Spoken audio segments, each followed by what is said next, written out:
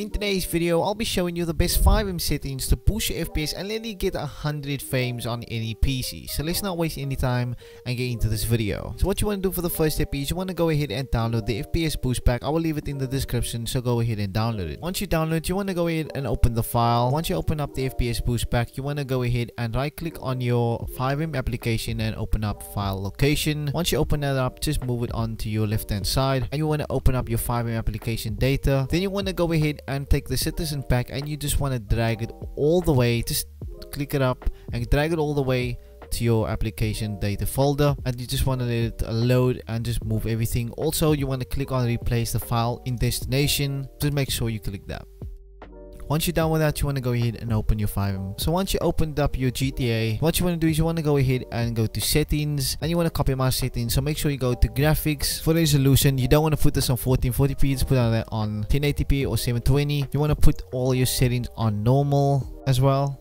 your ambient occlusion you want to put that off. Your v-sync put that off. Your long shadows you want to turn off. High resolution shadows you want to turn off. All the shadow settings you want to turn that off. But anyway if you found this video helpful please give it a like and also subscribe to the channel for more tips and tricks just like this. Anyway i'll see you in the next video. Peace